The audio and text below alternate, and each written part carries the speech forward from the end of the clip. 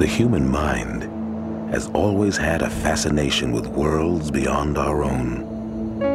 Following the stars across the seas, early explorers imagined that they might meet weird creatures in undiscovered lands.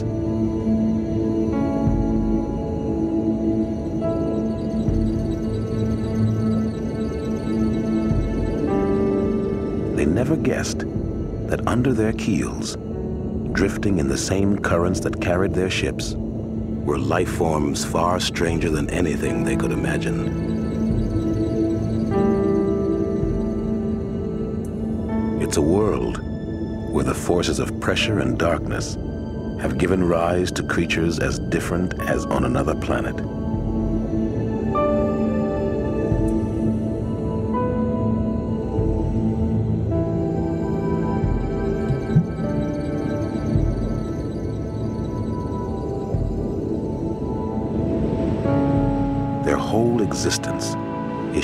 By the great ocean currents, which sweep them endlessly around the biggest living space in the solar system.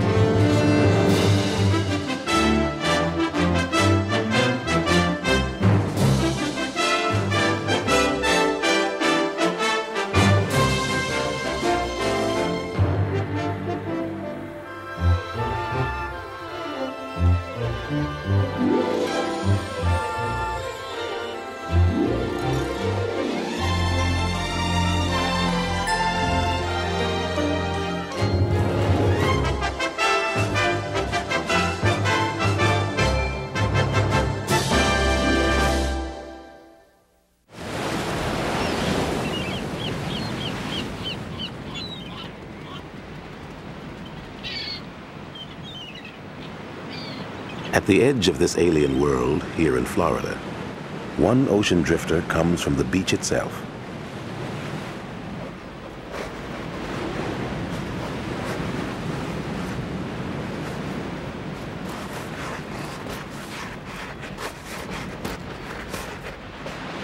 It can take these hatchlings three days to claw their way up from nests buried two feet deep.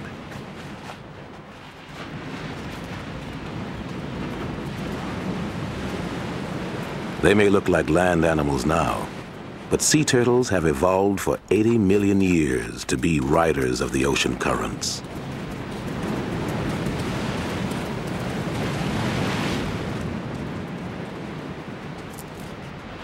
These loggerhead turtles, no larger than a child's hand, are about to embark on a perilous 10-year journey around the ocean. As they head down the beach, they're already reading the Earth's magnetic field with their internal compass. Only one hatchling in a thousand will survive to adulthood and ride the currents back to this beach to breed. It's among the most extraordinary odysseys in nature.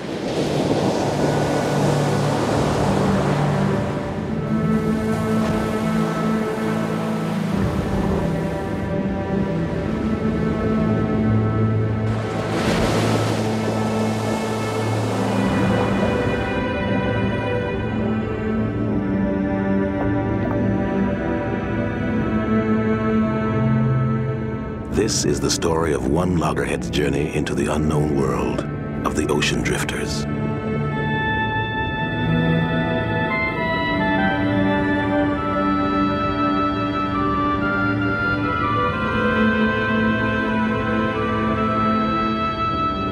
Like a wind-up toy, the hatchling swims relentlessly out into the ocean. The waves tell her which way to go, away from shore and from predators stalking the shallow water.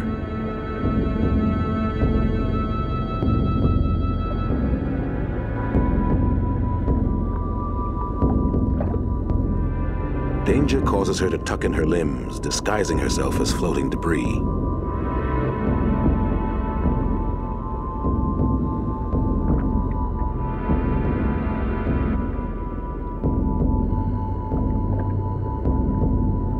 The shark doesn't see her and swims on.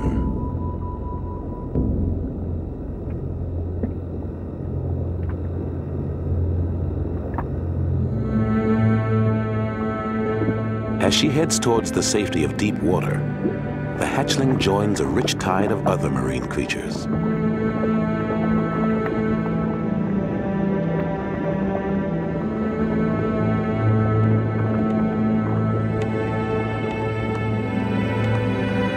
Every rock and weed is home to a different species.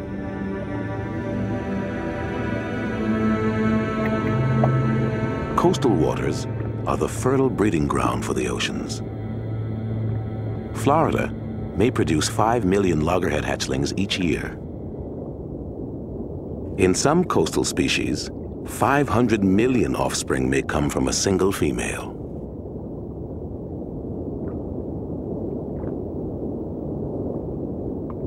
The eggs of this sea urchin and the smoky clouds of sperm from a nearby male swirl together in a fertility dance on the ocean floor.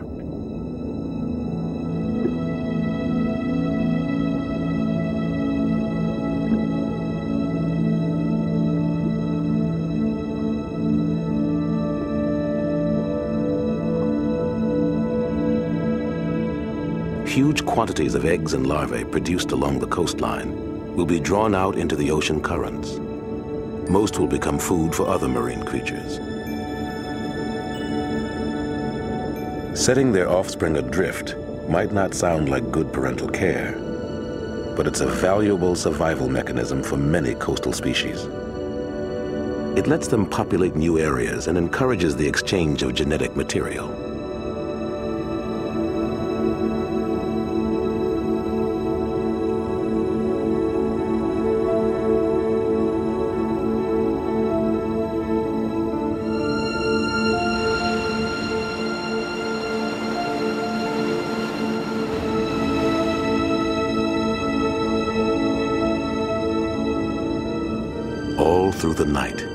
Instinct drives the loggerhead to push on.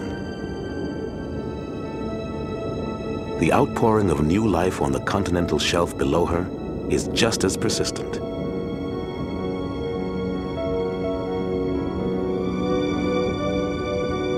With the bellows-like action of her pleopods, the spiny lobster sends 700,000 hatchlings seaward. It's a reproductive blizzard.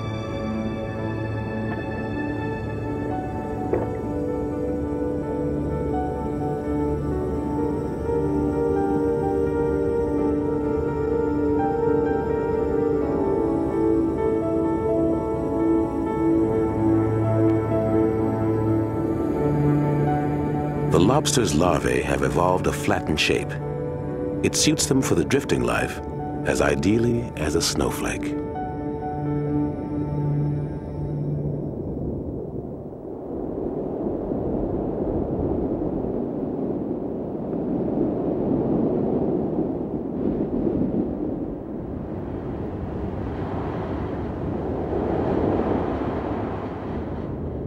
After 36 hours of swimming, the hatchling is growing tired. In the clear water 30 miles off the Florida coast, she reaches the edge of the Gulf Stream and finds shelter in the drift lines of sargassum weed.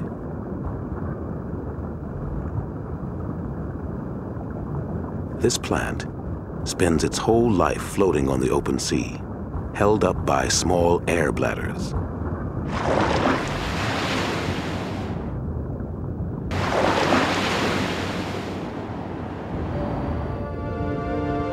Sargassum provides a haven in the vast, featureless world. All kinds of creatures find harbor here.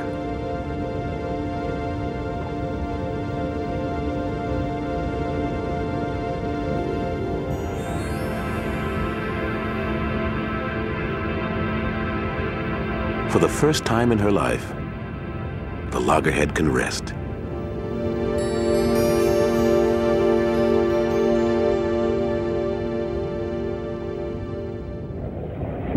The stillness is an illusion. The winds have piled up the sargassum weed in drift lines along the edge of one of the most powerful currents in the world. Just beyond, the Gulf Stream hurtles by. Viewed from space, the Earth is alive with clouds caught up in the rhythm of the trade winds. These winds and the rotation of the planet generate the great ocean currents. The loggerhead will be traveling for years in a circle of currents called the North Atlantic Gyre. Her journey starts off Florida, in the warm waters of the Gulf Stream, which will carry her north past Cape Cod. Satellite imagery is teaching us that the Gulf Stream is a wild living carousel, spinning off side currents and stirring up a broth of marine life.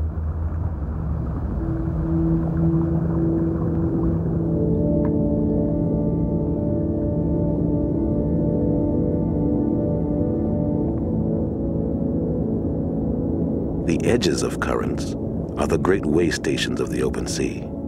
Plant and animal drifters are drawn into these fronts, one species making life possible for another. For a hungry animal, it's an oasis in an oceanic desert.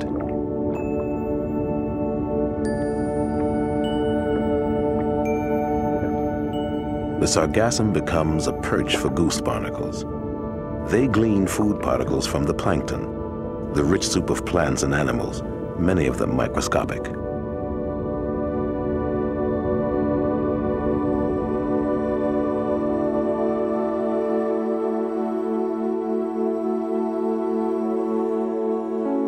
Even sluggish homebodies can be marvelously adapted for travel in the larval stage. This glorious creature drifting on wing-like lobes is a snail.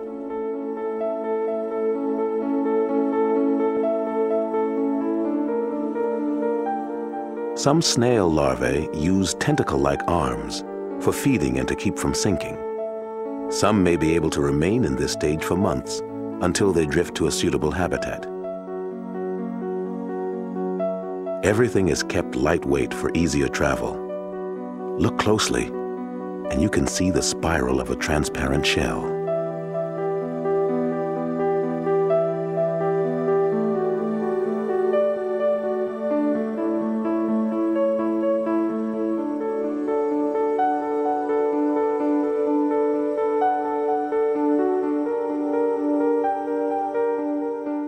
Beautiful drifters move so gracefully, you forget that the Gulf Stream is hurrying them along at 100 miles a day.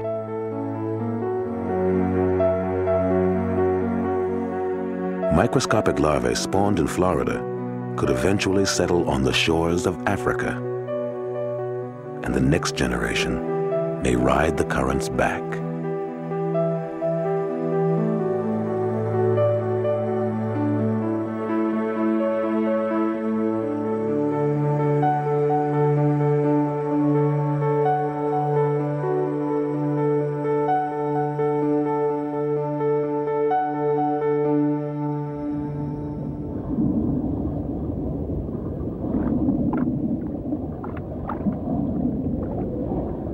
The ocean drifters have little to eat, except each other, which they do, eagerly. So, if the sargassum weed provides shelter, it also harbors death in an astounding diversity of forms, often wonderfully camouflaged.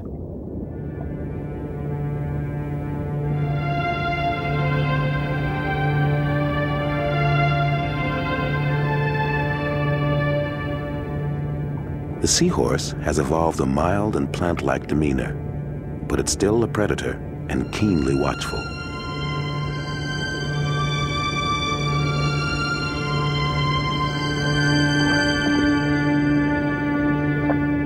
It drops down to ambush its planktonic prey.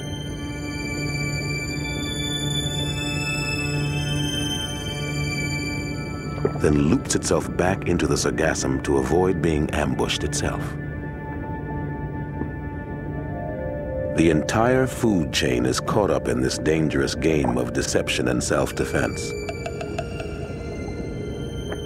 Small fern-like animals known as hydroids colonize the sargassum and feed on the most minute plankton.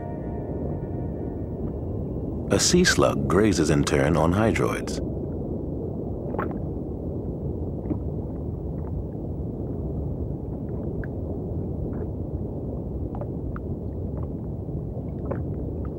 The slug's camouflage doesn't fool a potential predator. But the sea slug has armed itself with chemical defenses from its prey.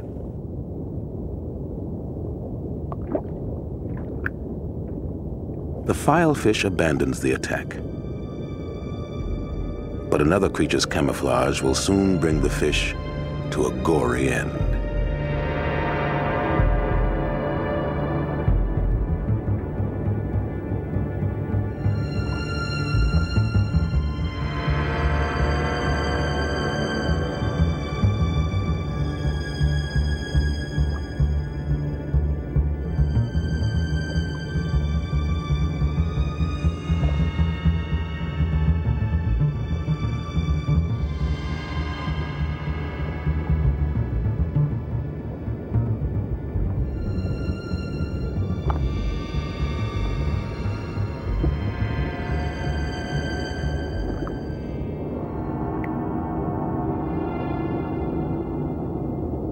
Drifting weed may look innocuous, but look again.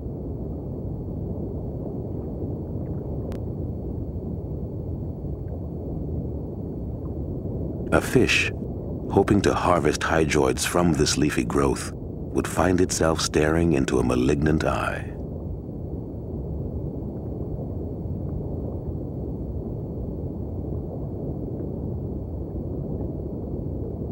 Evolution has made the four-inch long sargassum fish the big bad wolf of this floating world. Its extraordinary camouflage doesn't just mimic the coloration of the plant. The white spots also mimic the tube worms and hydroids that grow on sargassum.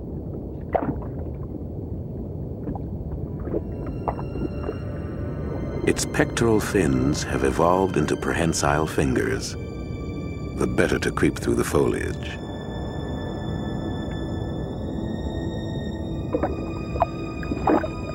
It will eat creatures almost its own size, and its victims thrash around in its gut momentarily before they die.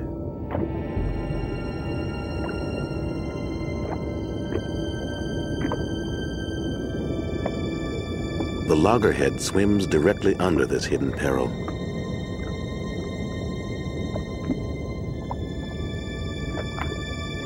But the sargassum fish lets her pass by.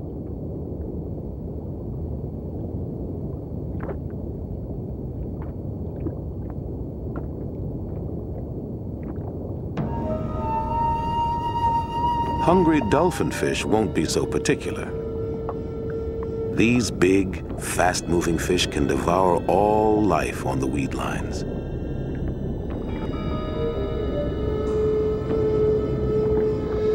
The turtle scrambles for a hiding place.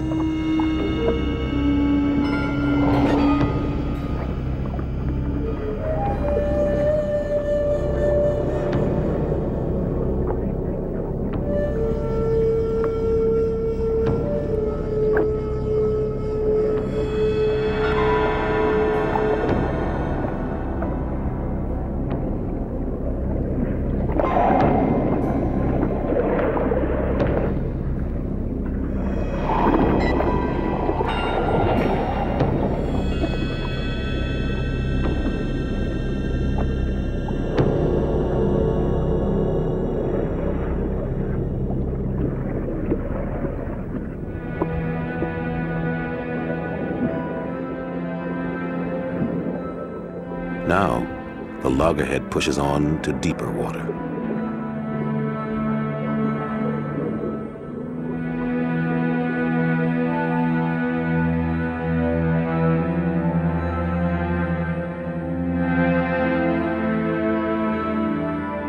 Beyond the sargassum in the open sea, gelatinous drifters are the most abundant life form. They may be the loggerhead's main source of food for much of her journey.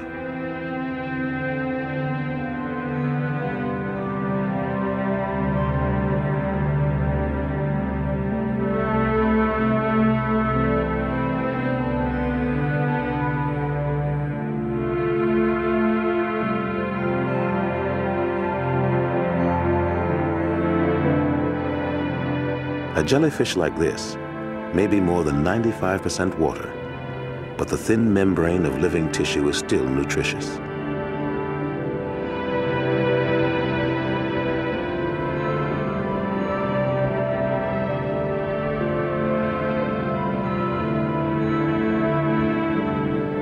We know almost nothing about how the turtle or any other animal survives here.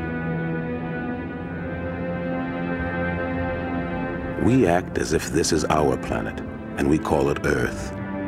But the oceans are so large and so deep that they constitute more than 99% of the inhabitable world.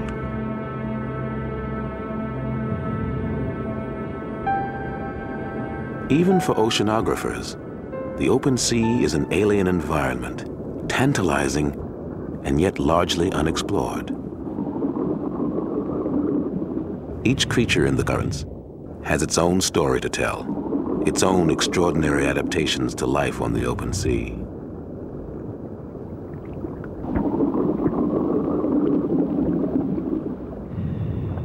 Humans venturing into these waters with scuba gear study only the upper layers of the ocean. They stay tethered to a rope like astronauts walking in space. It's a 500-mile swim to shore. Richard Harbison and his colleague Larry Madin are among the few researchers studying how these ocean drifters behave in their own environment. The air tanks limit them to 25 minutes per dive. So they get just a glimpse of how these high sea drifters really live.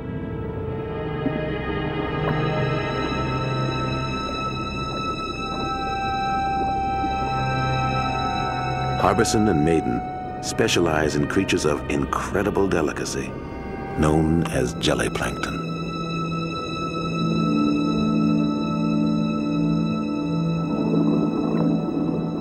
This underwater world changes by the hour.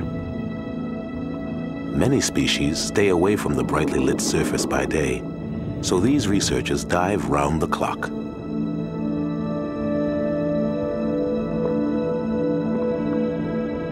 Under the cover of darkness, a whole new world of creatures rises from the depths. It is the largest animal migration on the planet, and it happens every night in the oceans.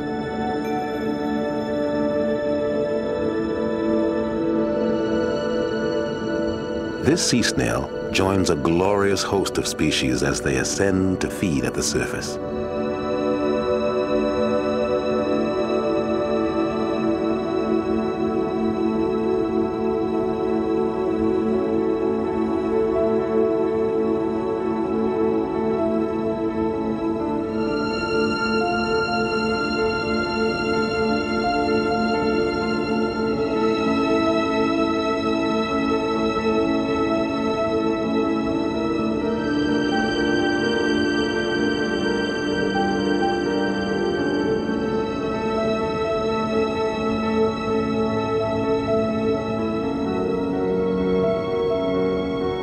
Life as a jelly is an ingenious adaptation. There are no hard surfaces to run into on the open sea, so these drifters don't need a sturdy body. The gelatinous form gives them the same buoyancy as the water around them. They've evolved for life at sea by becoming organized seawater themselves.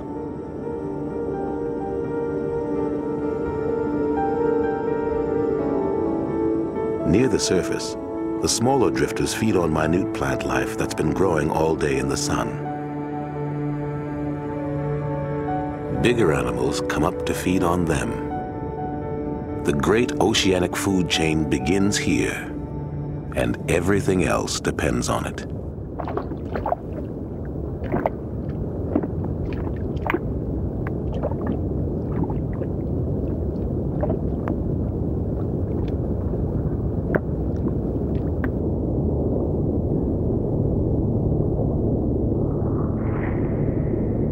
This weird apparition is a killing machine for small crustaceans.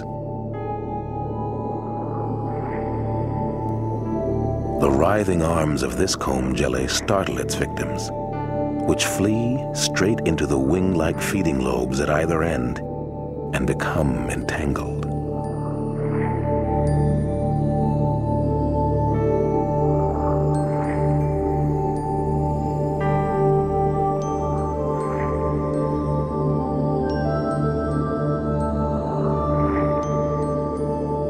Easy to become mesmerized by the delicate structures of some ghostly creature turning gently in the currents. You can see the beating of the heart through the transparent shell.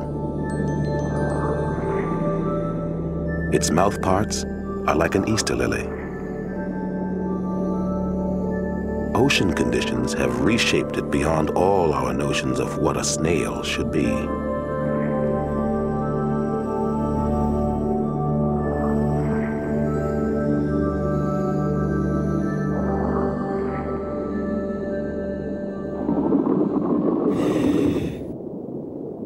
In another direction, and there's a salp chain grazing on small plant particles. This jelly can reproduce with extraordinary speed to take immediate advantage of a new food source. The salp sprouts new individuals like a chain of paper dolls.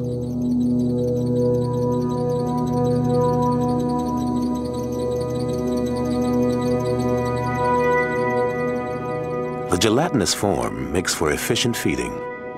It allows this siphonophore to spin out lengthy tentacles like fishing lines. It twitches its crustacean-like lures to entice its prey.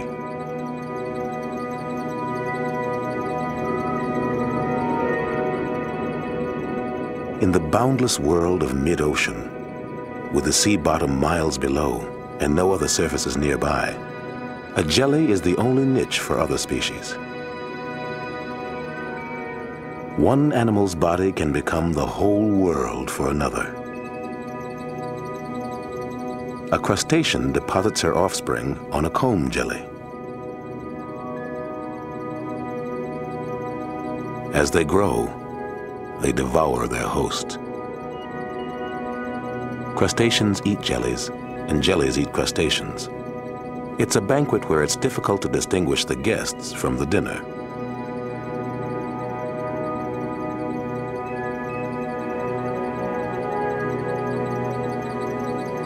The jellies also prey on one another.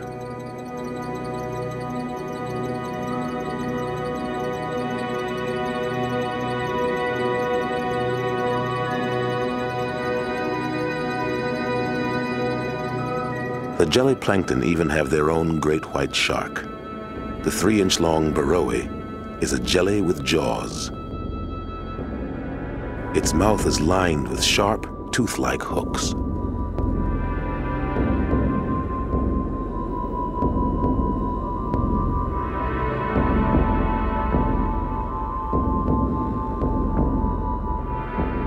The Beroe latches onto its prey and then expands to engulf it.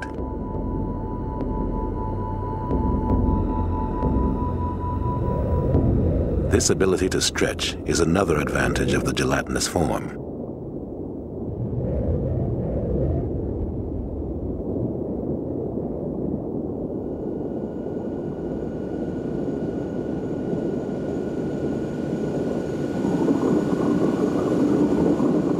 Though scuba researchers are limited to working in the upper layers of the ocean, with this submersible, an oceanographer can study drifting life forms down to 3,000 feet.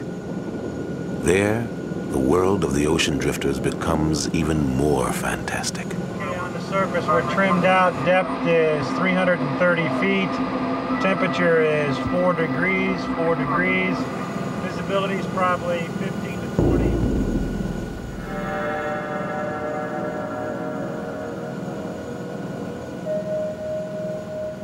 Edith Widder studies creatures living in the deep sea currents.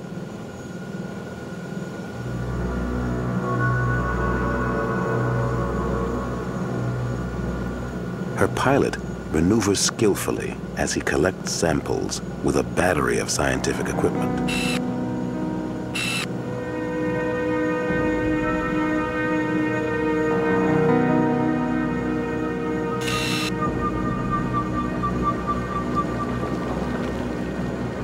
Down, they may be the first humans to see creatures that have drifted here for millions of years. Endlessly strange and wonderful. A siphonophore spirals out into the watery darkness like a galaxy. It's maximizing the feeding area for its fringe of stinging tentacles.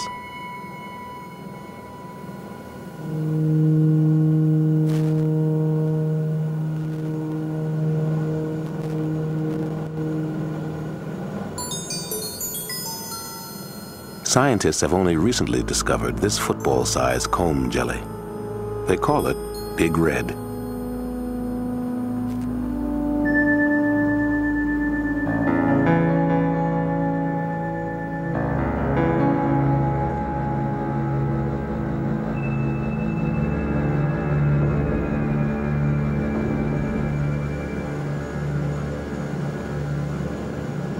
This fish isn't sick. In these dark, unbounded depths with no top and no bottom, everything simply behaves differently. Like this squid, suspended in the stillness.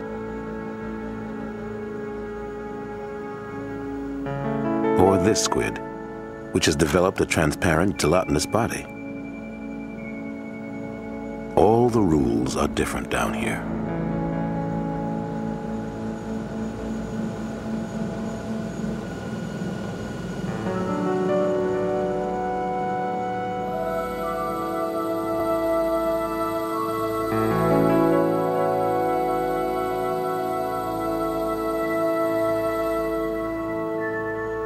Researchers freely admit that what they know about almost any of these animals is less than a paragraph.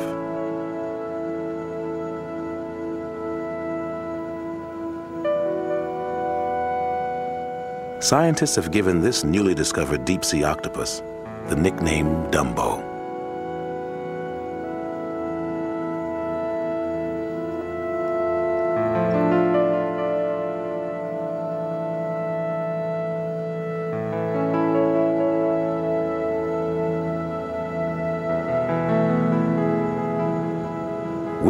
Specializes in bioluminescence, the ability of living creatures to communicate by producing light.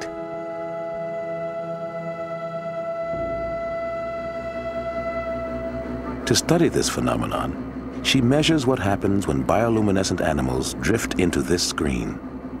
She must shut down her own floodlights and use special cameras to see how they respond.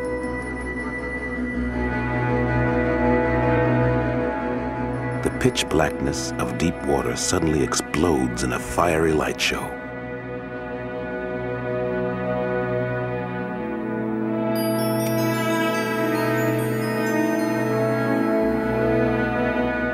A sea cucumber looks strange enough just before it makes contact with the screen.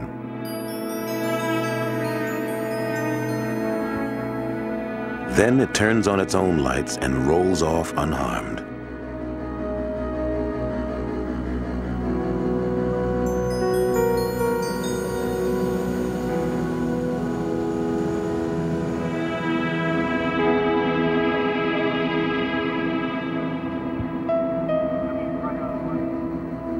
Almost every animal uses bioluminescence in the pitch dark of the deep.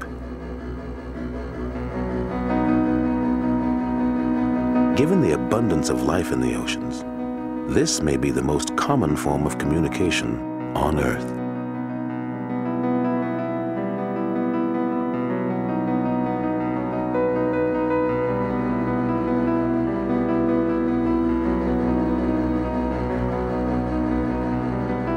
Clouds of bioluminescence can be so bright that they light up the instruments inside the submersible. If attacked, some animals try to confuse their predator with sheer incandescence, like a flashbulb in the face. Others illuminate the predator in the hope that some larger predator will come along like a cop and take it away. Some use light like a lure to draw their prey closer or to attract a mate. In this world of darkness, the language of light is so important that a moment's flickering may determine whether an animal lives or dies. But what we know about bioluminescence is limited by the difficulties of ocean research. Even a submersible stays underwater for only about three hours.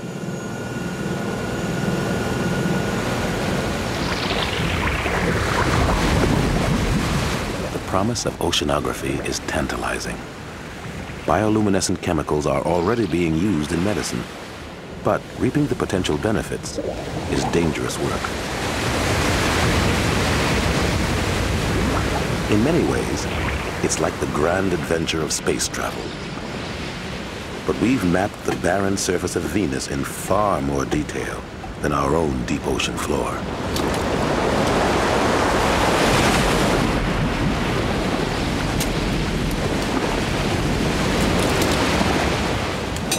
Is it worth exploring the depths of this planet? In one area the size of a small living room, deep sea researchers recently discovered 460 new species. Who knows what secrets we have yet to discover in the oceans?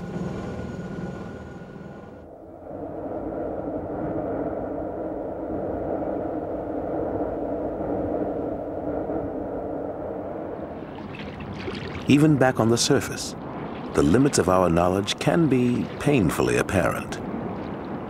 In the complex ecosystem at the very skin of the ocean, a whole other world of creatures lives both in and out of the water.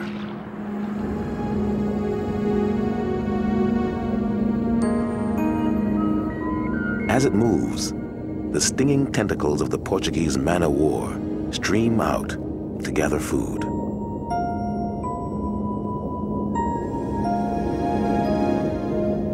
By raising its gas-filled sail, the man-o-war can travel at varying angles to the wind. It's an elegant system for dispersing animals, not just where the current takes them, but across the face of the ocean.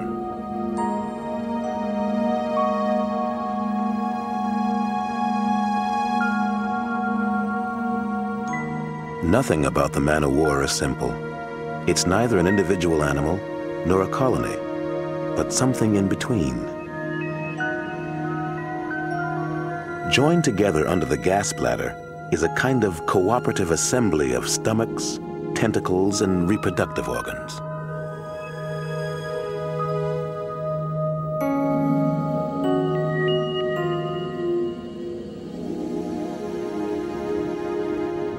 Other species add to the complexity.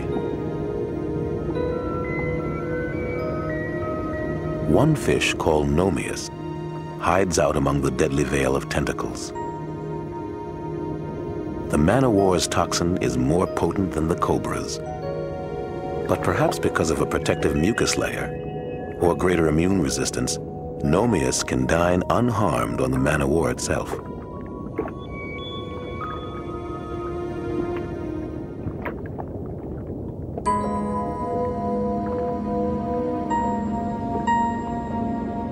Other fish aren't so lucky.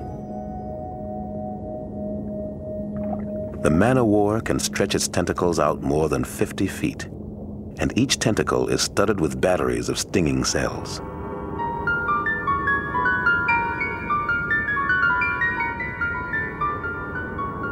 Nomeus may help out the man-o-war by herding these fish toward their death.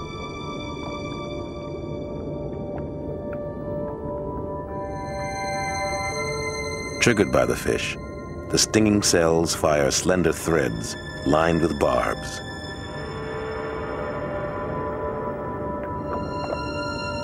The victim is lassoed, hog-tied, and injected with paralyzing poison.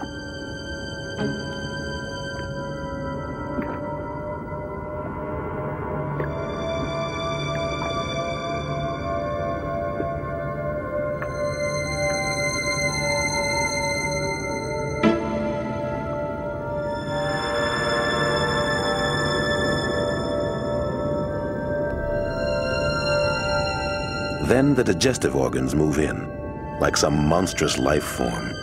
They wriggle and twist as they fasten their flexible mouths onto the victim. Gradually, they engulf the fish and dissolve its flesh.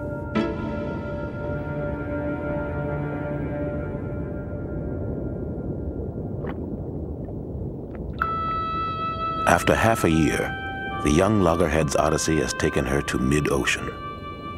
But she still has a lot to learn.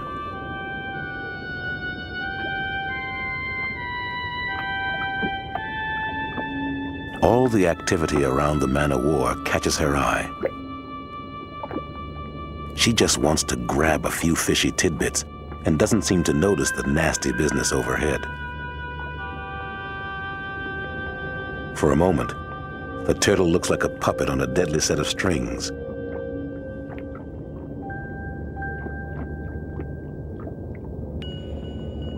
But it's the man of war that's in danger.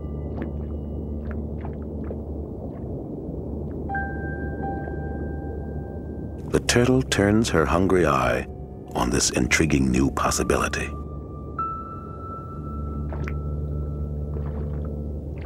People talk about the first brave human who ate an oyster, but what a tangled and spicy meal the man of war must make. The turtle's skin may be too thick for the stingers to penetrate, but no one knows what protects the turtle's eyes and mouth.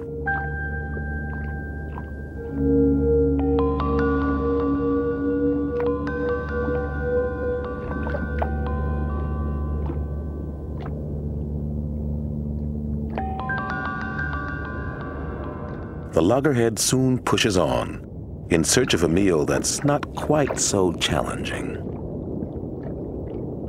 One of the strangest inhabitants of the harsh world between air and water is the drifting nudibranch named Glaucus. This upside-down sea slug swallows air bubbles to hold itself at the surface.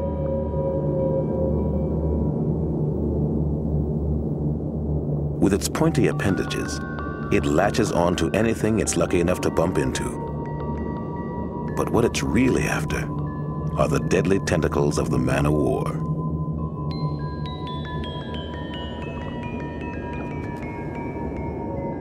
It coats its mouth parts with a mucus layer to protect itself.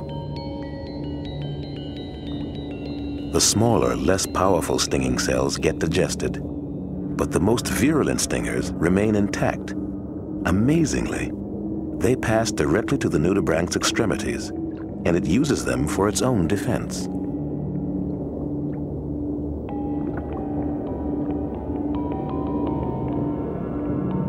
But these surface drifters must face adversaries even more formidable than each other.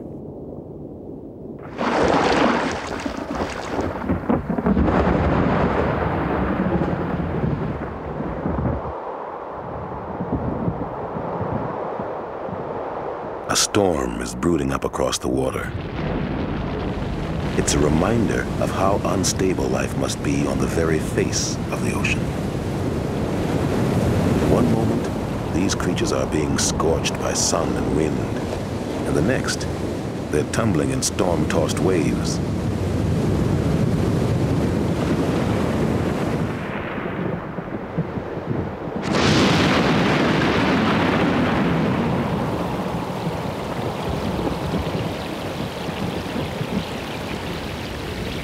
As the storm passes, they get pelted by icy rain and have to endure the dilution of their salty home.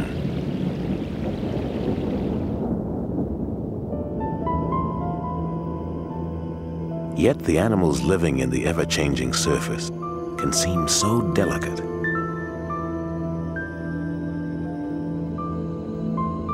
This drifting snail builds a fragile home of air bubbles sealed in an envelope of mucus, then hangs on for dear life. If it lets go, it'll sink into the abyss.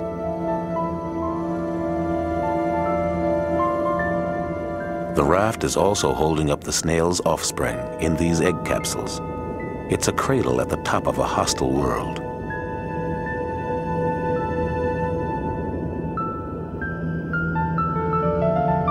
When it's done laying eggs, the snail builds a new raft for itself and cuts its 50,000 offspring adrift.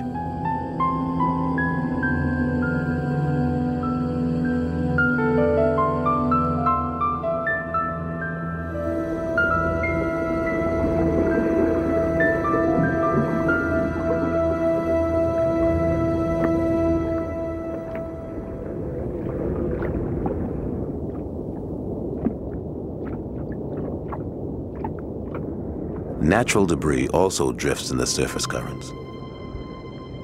It's always been a means of dispersal for some plants. A coconut from the Caribbean may ride the Atlantic currents thousands of miles to take root on some distant shore. Fish are drawn to this kind of flotsam for shelter.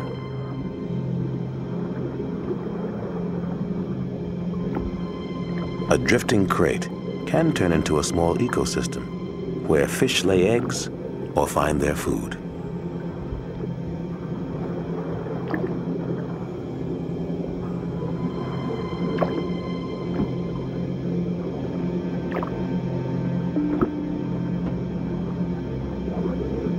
But the little things we throw away add up, and the supply of garbage begins to seem endless. One study estimated that 13 tons of trash per minute was being heaved overboard by ocean-going vessels alone. A recent treaty now regulates the practice, but it's rarely enforced.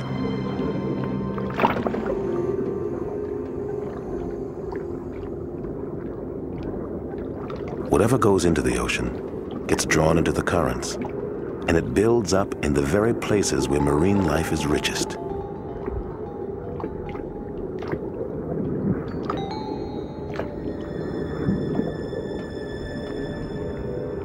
Animals encrusted on debris may rouse the loggerhead's hunger and curiosity. For her, drifting objects have always been a natural food source.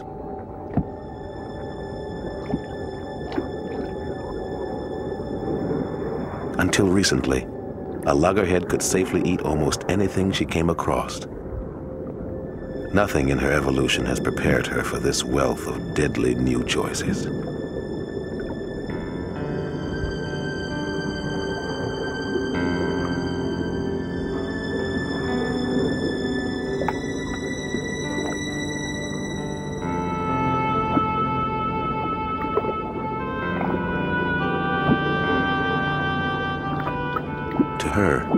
Makes as much sense to pick at the festive remnants of a balloon as at a man of war. Fragments like these can choke turtles to death. Plastic blocks their digestive tracts and causes starvation.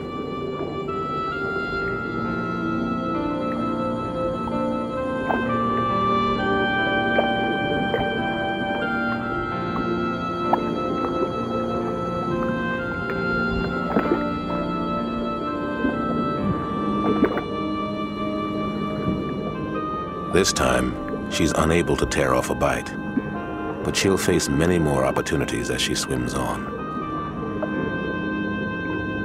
Almost every dead turtle found has plastic in its gut.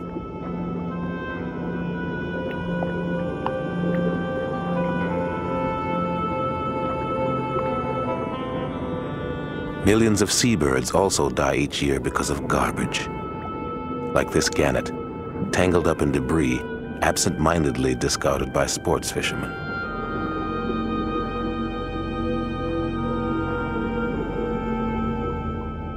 Commercial fishermen lose thousands of miles of net each year, which spread out all across the oceans like a deadly web. There may be no way for the loggerhead to learn about these new perils until it's too late.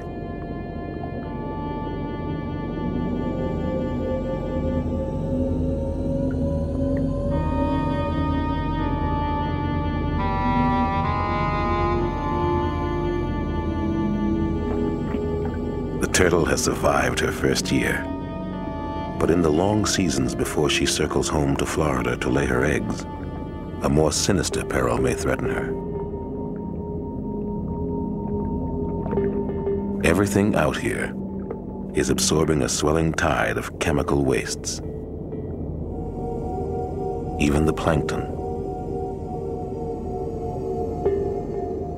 Though they may seem insignificant, the life forms here are important to cloud formation. They even help regulate the global climate.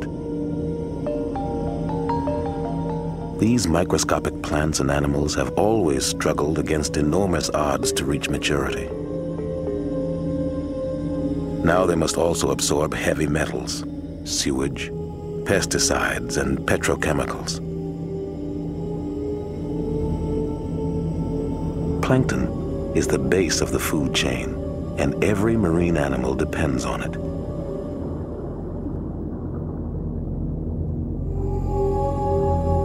If our carelessness disrupts this vast, drifting tide of life, will it imperil the entire ocean?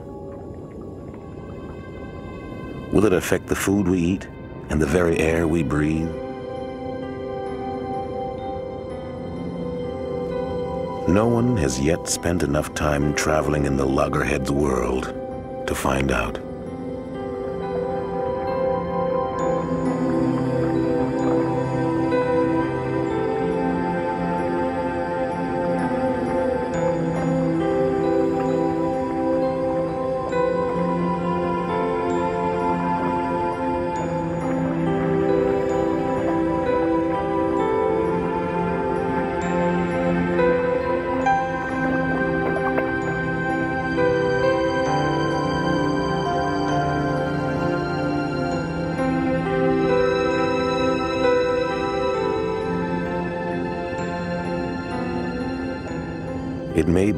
We humans will always find it easier to turn our imaginations away from the oceans and out to other worlds. But as we peer up at the stars, we should keep one truth in mind. All the alien life forms we know, and perhaps all we ever will know, are here, adrift on planet Earth.